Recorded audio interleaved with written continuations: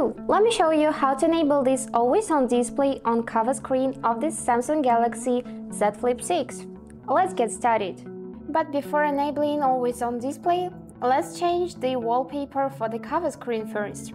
And for this, open settings, then go in this cover screen tab and by tapping add new button you'll be able to see all of the options for wallpapers. And let's choose this cute donut for example.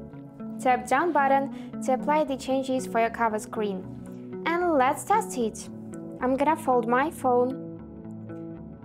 And now you can see this new wallpaper right on your cover screen.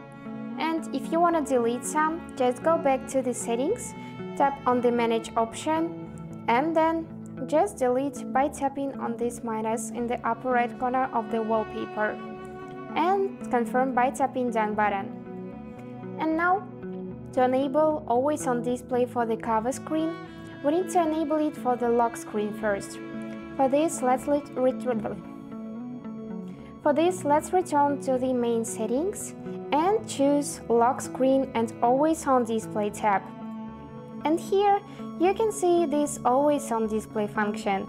So to enable it, simply tap on the switcher.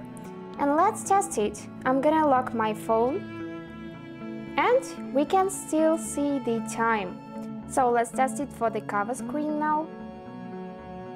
And now the always on display has been enabled. And so to wake it up, we would need just simply tap twice on the screen and that's it. Hope this video was useful for you and thank you so much for watching.